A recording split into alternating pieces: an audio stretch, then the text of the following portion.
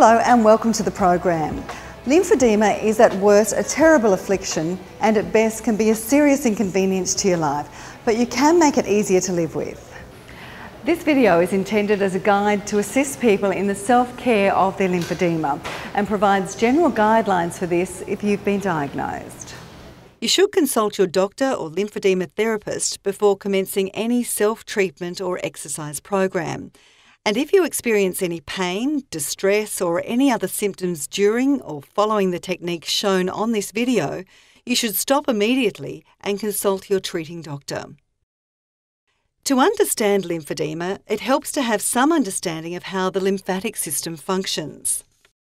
The lymphatic system is closely associated with the blood circulation system, and both need to work together in order to keep us healthy. Blood is pumped by the heart to the lungs where it picks up oxygen. This oxygen rich blood flows via the arteries to all parts of the body. As the blood flows through tiny vessels called capillaries, fluid containing oxygen and nutrients is released into the tissues. Any excess fluid is collected into the lymph capillaries, which carry away dead cells, excess proteins, special white blood cells, fats, and debris. This fluid is called lymph. Lymph is transported by small lymphatic vessels, some of which lie just under the skin, into larger collecting vessels and then to a deeper system of lymphatic vessels and ducts, to finally empty fluid back into the venous or blood circulation. The largest collecting vessels are in the abdomen and chest, and they finally connect with the large veins at the base of your neck. The flow of lymph fluid from smaller vessels to larger vessels can be likened to a river which begins as a small creek, gradually flowing into larger streams, then in one direction only, finally reaching the sea. On its journey, lymph is filtered through many nodes throughout the body, such as in the groin, axilla, and the abdomen. The lymph nodes help to remove unwanted matter, assisting with bacterial and viral immunity in order to keep us healthy.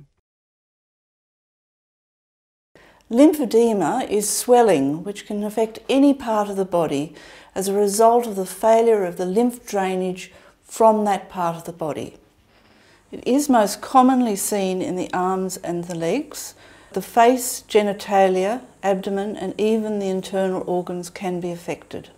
Primary lymphedema occurs when the lymph drainage system itself or its components are deficient or it fails to work properly. The main cause of secondary lymphedema in Australia and New Zealand and other developed countries is cancer treatment, both surgery with the removal of lymph nodes and radiotherapy. Worldwide, the most common cause is certain infections such as filariasis. But anything that damages the lymph system, such as severe tissue injury, fractures, burns, or infections, can undermine lymph drainage and cause lymphedema. Obesity can be a contributing factor. Lymphedema can affect anybody at any age. It can affect children as young as newborn babies right up to old age. And then the process began of bandaging and, and diagnosing. And so from four days old, she was in five layers of bandaging and massage three times a day with the bandages off and on in between. So it was quite a quite a journey we went on from there and trying to find some answers. Lymphedema is easily recognised in its most severe form, with stagnating lymph flow, chronic skin and underlying tissue changes occur the skin thickens and cracks or bubbles up, and the skin below becomes solid, fibrotic, and even woody. This is called elephantiasis. However, early forms of lymphedema are often missed or ignored. Any persistent swelling for more than three months is likely in part to be due to failure of the lymph drainage from the area of swelling. Early diagnosis allows early treatment and ultimately a better outcome. I think looking at my story, I was very fortunate that I was directed to get a good diagnosis, and having had the diagnosis, uh, was directed to the best possible people to treat it very early. Uh, and this made a significant difference in, in my treatment. And I think that's what people have to be aware of. The sooner you treat this disease, the better the treatment outcomes are going to be. There's a lot of people that have been living with it for years and years with tissue damage and everything, and all that can happen then is manage it. All people at individual risk of developing lymphedema would benefit from early diagnosis and early intervention. A qualified lymphedema therapist can consider your symptoms, such as swelling, discomfort, or heaviness, examine your arm or leg to look for any scarring or joint movement issues, and assess size changes in your arm or leg using a tape measure and bioimpedance. Bioimpedance is a clinical tool that your therapist may use that can help detect lymphedema before there are any visible signs of swelling. There is no cure for lymphedema, however, it can be controlled and managed well. For over 20 years, effective treatment called complex lymphedema therapy has been available in Australia. Best outcomes can be achieved with appropriate self treatment and ongoing self care. With professional help, your home self care program will become part of your daily routine. There are four easy things to do each day skincare, self massage, exercises, and wearing your compression garments. Simple skincare is important. It keeps the skin in good condition and protects against infection and the chronic skin changes that can occur with lymphedema. Good personal hygiene is also important. Time your skincare at the beginning or at the end of the day to fit in with your shower time or when changing clothes. As soap may dry your skin, you may want to use a soap substitute, aiming for a pH neutral skin product. Take care when drying your skin, especially in creases, folds, and between the fingers or toes. Fragile skin should be patted dry rather than rubbed. Use a non perfumed moisturiser daily. If you are wearing a compression garment, allow the cream to absorb into your skin before putting on the garment. Inspect your skin daily for any signs of broken skin or redness. If you have lower limb lymphedema, you may need to seek the expertise of a podiatrist for cutting your toenails. Treat any foot and skin or nail conditions promptly. Try to prevent cuts or scratches and, if they occur, treat promptly by applying an antiseptic solution and dressing. Use an electric shaver while shaving to avoid cutting your skin. You can avoid insect bites by using insect repellents. Use a high factor sunscreen to protect the swollen skin from sunburn. Avoid baths with hot water and hot saunas. Because the lymphatic system is damaged, bacteria are not destroyed within the lymph nodes and remain in the swollen tissue, this can cause further tissue damage and is one of the main reasons why lymphedema can get worse. Bacteria can spread more easily in the blood system, causing septicemia, which is a life-threatening condition. Swollen skin can become dry and cracked. The small breaks in the skin can be the entry site for bacteria that can cause infection in the skin and the tissue beneath the skin. This infection is called cellulitis. Increased swelling, heat, or redness of the skin can indicate the start of cellulitis. Sometimes cellulitis starts with a rash. Cellulitis can make you feel unwell, as if you're going down with the flu. You may feel feverish, start shivering, or have muscular aches and pain. I then developed, um, had three bouts of uh, cellulitis. So infection became a real problem for me. Um, I had a fourth one within the 12 months, and the arm went backwards quite seriously then because the texture in the arm changed. Fluid gathered fairly easily. Whenever I exercised or was in heat, um, the fluid would also accumulate, so it became quite a difficult management prospect. Um, the only way I could manage it was by coming to Mount Wilga and the girls doing treatments on it, or we'd do intensive two week periods on it. Um, but it, uh, at the same time, I developed a fairly comprehensive program myself at home. I swam because I couldn't any longer exercise by walking or running because the arm would blow up. The other things that I've done at home are I have I do self massage and I do that not every day, not religiously every day, um, because the swimming is a form of massage anyway. And I find the laser works very well with it as well. So I've maintained it pretty well. The infection has been my biggest issue by far. Um, it sets me back every time. Um, and I've been on prophylactic antibiotics for 12 months to manage that. If you think you're developing cellulitis, you must see your GP immediately as you will need antibiotic treatment. For those people with lymphedema who experience repeated bouts of cellulitis, preventative antibiotics may be advisable. Once you have started your antibiotic treatment, try to rest until you start to feel better. You will need to complete the full antibiotic course and may need to have a second course. I think the single most important thing is to be vigilant and to be vigilant particularly with infection. I'm I'm very very careful now about um, doing things, getting cuts on my hands, tiny little cuts there where the infection must have got in because there was nothing I really uh, noticed that should have led to an infection, but it was there. And once it's in there, it takes a long time to move.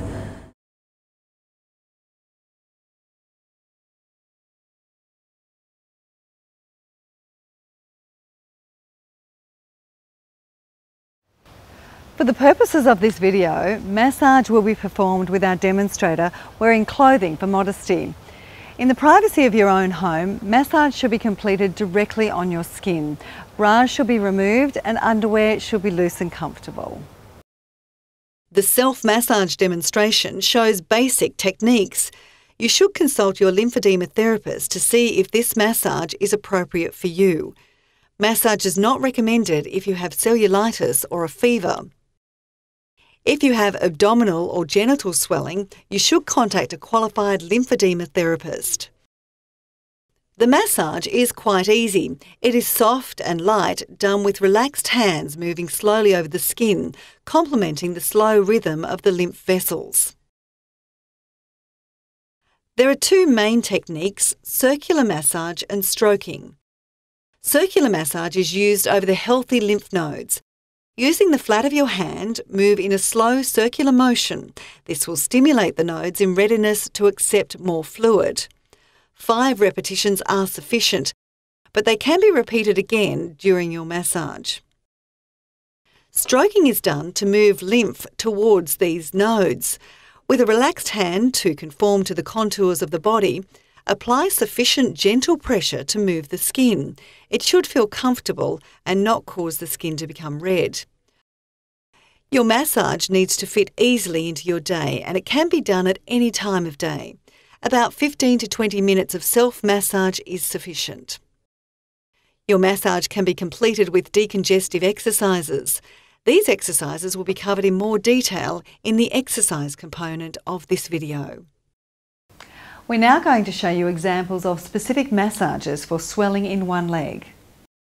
The massage will stimulate the important lymph nodes and collecting vessels that are along the pathway towards the armpit on the same side as the swollen leg. The important nodes are in the neck, armpit, abdomen, groin, and behind the knee.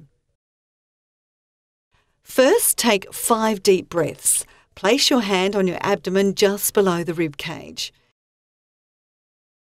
As you breathe in, feel your hands rise. As you breathe out, give a little overpressure. Repeat this five times.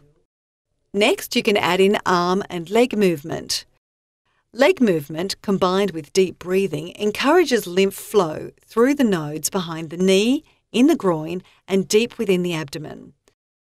By bending and stretching your leg in time with your breathing, this will have the added benefit of pushing lymph through nodes in your abdomen, groin, and behind your knee. As you breathe in, lift and stretch your arms upwards. This expands your rib cage. Now, as you breathe out, bring your arms down. This can be repeated five times. but take care not to get giddy with overbreathing. Begin the massage by moving your hands to either side of your neck, just below your ears. You may use the flat of your fingers or the back of your hand. Ensure that you do not press too firmly on your neck. Gently stroke downwards from behind your ear towards your collarbone. Do this slowly five times. Now it is time to massage your trunk. For each area demonstrated, try to repeat five times. Begin by clearing the nodes in the armpit on the affected side. This is to help clear the exit for the drainage pathway from the groin and leg. Use circular massage with the flat of your hand, move in an upward circular direction. This will help to stimulate these lymph nodes in readiness to accept more lymph, which will be directed towards these nodes. Staying on the affected side, begin massage strokes on the trunk, moving from the waist up towards the armpit. Next, make longer strokes from below the waist to move the fluid over the waistline, finishing in the armpit. Now move to the abdomen to stimulate the deep system. Place your hands on your abdomen just below the rib cage. As you breathe in, feel your hands rise. As you breathe out, gently press your hands down into the abdomen. This will stimulate the many hundreds of nodes in the abdomen to encourage them to work efficiently. To massage the nodes in the lower pelvis, place your hands above the pelvic bones. After clearing your trunk well, if you are able to reach, you can also massage your leg. Remember to try and repeat five times. Using a wedge cushion may make this task easier for you to reach your legs. To empty the nodes in the groin, place your hands in the triangle area at the inside top of the leg Repeat the circular massage strokes here five times. A skin brush or soft, long handled body brush available from pharmacies can also be used instead of your hands to help you reach your leg. Stroke the skin with the brush so that it works in the same way as hand massage. It should not cause redness or chafing of the skin. Place your hands around your leg. Allow them to move over the skin, gently sweeping up your leg. Start at your thigh before doing your lower leg. When massaging your thigh, try not to sweep directly to the genital area. Rather, move fluid to the outside of your thigh. You can combine movement with your massage by bending and stretching your leg to encourage the nodes in the groin and behind the knee to empty. Sometimes it helps to do a little extra finger kneading around the ankle bones, especially if the tissue is firmer here. Finally, be sure to once again empty the lymph nodes in the armpit. It's great to have a partner or friend willing to help with your massage, especially for those hard to reach places such as your back and buttocks. If you do not have a friend to help you, you can use a body brush with a long handle. Use the same sequence as for the massage that was described previously, repeating five times. First, you or your partner can clear the lymph nodes in the armpit. Then your partner can massage your upper back towards the armpit gently moving the skin. Let your partner know if the massage is too firm. Next, begin the strokes lower down the back, moving over the waist. Each longer stroke is helping to direct the flow in the correct direction. Stroke upwards towards the armpit. I had through this whole period needed a lymphatic drainage massage. I was very, very fortunate. I have two close friends, and they have massaged me. One of them has massaged me every second day as much as she could, and the other one would take over when that wasn't possible. And um, this process has really helped me through. When both legs are swollen, there is twice as much of the body to massage. However, this can be fairly easily done, taking just 20 minutes. Begin by clearing the nodes in the neck and armpit as we have seen earlier, first on one side, then on the other. Or they can both be done together. Use alternate single-handed strokes on one side first, starting just above the waist and stroking up to the axilla and then repeat this on the other side. You can use both hands at the same time, especially from the lower abdomen and upwards over the waistline. Then continue to move this fluid up towards the armpit, remembering to do this on both sides. Once again, finish with circular massage of each armpit. Now move to the abdomen to stimulate the deep system as we saw earlier. Finish with several deep breaths. Compression garments are another essential part of lymphedema treatment.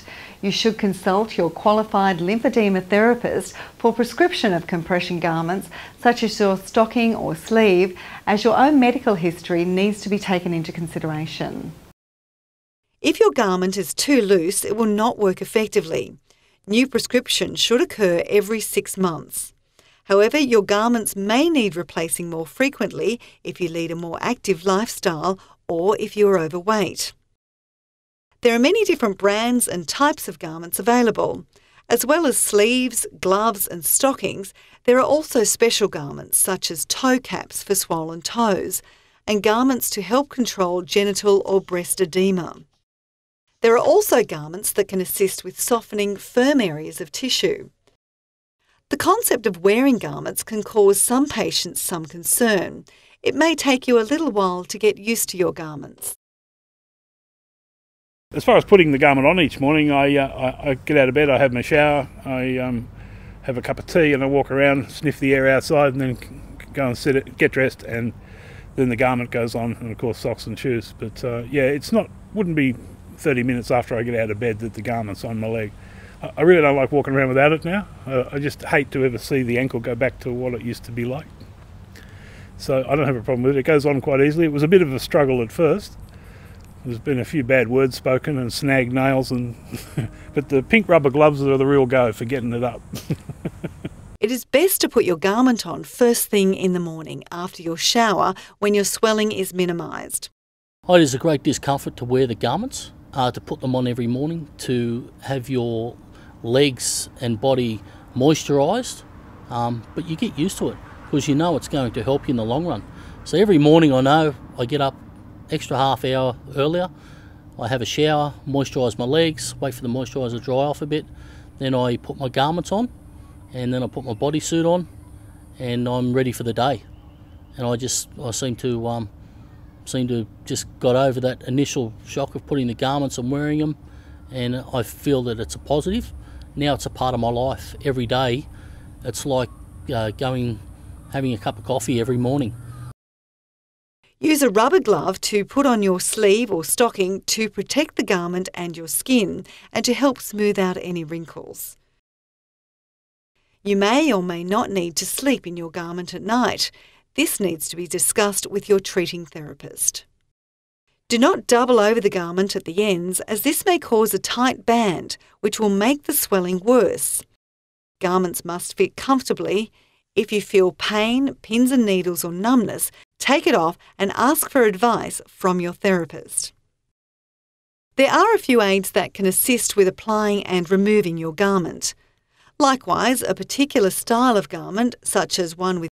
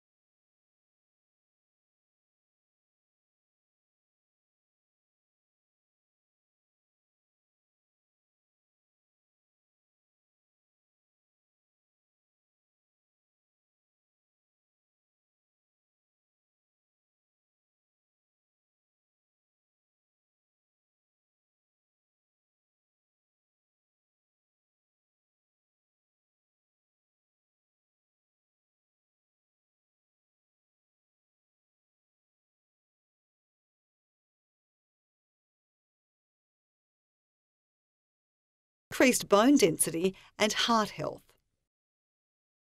The use of exercise in combination with compression garments is considered to have an added effect on lymph flow.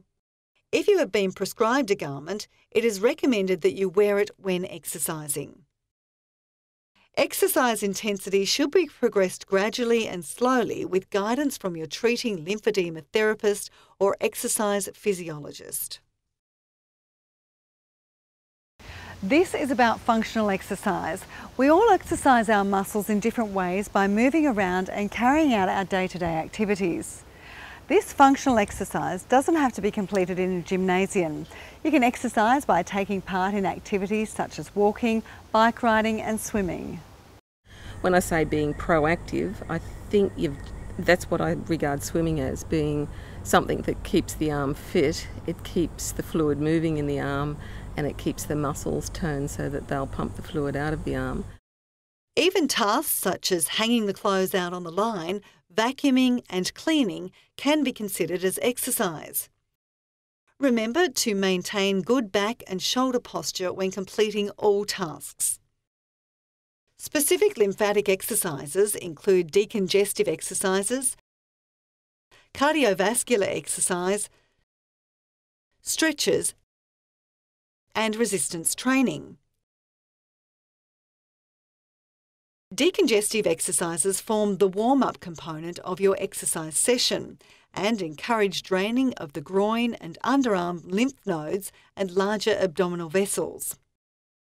These exercises assist with the flow of lymph and prepare the working muscles, cardiorespiratory and lymphatic system for the workout ahead. Deep breathing can help the deep lymph system to work better. The diaphragm is a large sheet of muscle which stretches across the body between your chest and abdomen. As you breathe, the pressures change inside the chest, and this helps the deep lymphatic system to work better. This will in turn help the lymph drain out of the limbs. Breathing exercises can be done any time and should be done at the beginning and at the end of your self massage and exercise routine. You can incorporate your breathing exercises with your general exercise regime. Other forms of exercise that encourage deep breathing and limb movement, such as Tai Chi, can be very beneficial. Stand upright and look straight ahead. With arms relaxed by your side, gently roll your shoulders forwards in a slow and controlled manner. Maintain normal breathing. Once you have completed forward shoulder rolls, repeat this exercise in a backwards direction. Stand upright and look straight ahead. Raise arms outwards to the side in an alternating manner. Movement should be slow and controlled. You are aiming on deep breathing throughout the exercise and with the arm movement gently stretching and opening up through the sides of your trunk. If your shoulder movement is restricted, start with small arm raises and gradually increase as movement improves. Lie on your back with your knees bent and feet flat. Take a big breath in, and as you inhale, bring your knee towards your chest. As you exhale, slowly lower your leg back down. This can also be done in a sitting and standing position. Set your posture when standing. March on the spot with high knees. If able, swing your arms as if walking.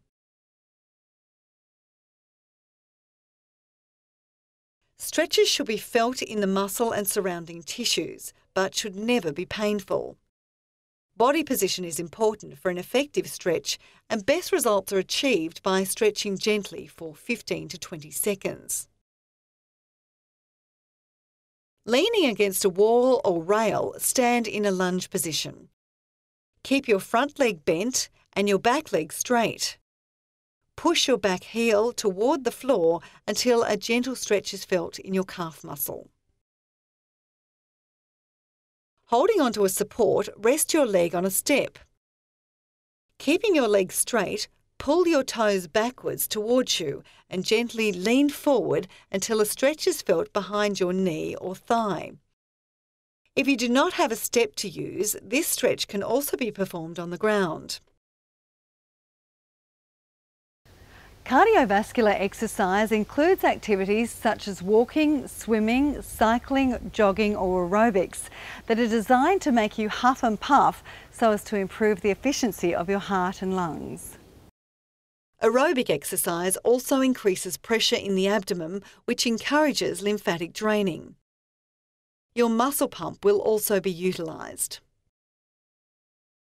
Walking is a great way to boost your fitness as it is easily accessible to everyone, doesn't require fancy machines, and your only cost is a pair of good walking shoes. Try to walk at a brisk pace each day. Walking should be done during the cooler periods of the day to avoid overheating. Higher intensity exercise may be suitable if you are accustomed to it and your lymphedema is well controlled. Other examples of exercising for fitness is hydrotherapy. Your therapist can prescribe a customised program for you. If you have joint problems, hydrotherapy removes the weight of your body off your joints, so you may be able to complete exercises easier in the pool than you can on land. Pool activities are also a great way of encouraging exercise as it can be fun. I developed a fairly comprehensive program myself at home. I swam because I couldn't any longer exercise by walking or running because the arm would blow up. Um, so swimming became my best friend really, and I found swimming fantastic for it. Um, it always um, moves the fluid out of the body, uh, keeps the muscles fit. So um, I swim three times a week. Strength training involves moving your body or body part against a load or resistance. This could include using your body weight, free weights, or TheraBands. Step on and off a step repeatedly. Hold on to a support if necessary. Stand upright and hold on to a support. Keeping your knees together, curl one leg upwards behind you. Hold for a moment, then return to the original position. Sit in a firm chair with your feet planted flat on the floor. Practice standing and sitting in and out of the chair. When performing this exercise, ensure legs remain parallel and equal weight is felt through each leg. If you find this exercise too difficult, place a cushion on the chair to raise its height. If you find this too easy, complete without using the armrests of the chair. To conclude your exercise session, repeat your deep breathing exercises and do gentle leg exercises such as heel raises. Stand upright with legs straight. Holding onto a support, rise up onto your toes. Hold for a moment, then lower slowly. At home, this exercise can be performed at the kitchen sink, which allows you to hold onto a support with both hands. You can come up onto your toes with both legs together. You can also pump your ankles by coming up onto the ball of your foot with one leg at a time. So if you're not doing enough exercise, hopefully these suggestions will help you to become more engaged. Lymphedema is a tough thing to live with. It certainly changes your life and also often that of those who love and support you. There's some amazing people, patients and carers who have contributed to this program. And what follows is a few closing comments from them. For full versions of each of their interviews, Look for their stories on the DVD or on the website. There is a great deal that you can do on your own as part of your ongoing health maintenance to successfully care for your lymphedema. The message that I'd convey to anyone who has lymphedema is don't let it take charge of your life. You are free. You can manage things, you can do exercise, you can look after yourself, and you can enlist all those close people who want to help you. So I guess that'd be my advice vigilance with infection, um, exercise, proactive, and massaging. And get on with your life. I mean, well, we've got over cancer, so this one's just a management issue. My advice for other people who are suffering from lymphedema, and it doesn't matter how young or old you are, or how big or small you are, you need to have treatment. Uh, it'd be uh, to speak to a specialist and someone who knows about that actual disease. Um, and you need to get it treated straight away because it can only affect you ongoing non-stop. So you need to get specialist help straight away. Um, i got specialist help and it's helped me immensely. It's turned my life around. A lot of them don't realise uh, that it, when you first get diagnosed that this isn't going to go away in a hurry and uh, you have to sort of set up your life to uh, incorporate the lymphedema and not ignore it otherwise you don't go for the treatment and it'll get worse. If you're diagnosed with um, lymphedema, my recommendation is that you get active and do something about it as soon as you can.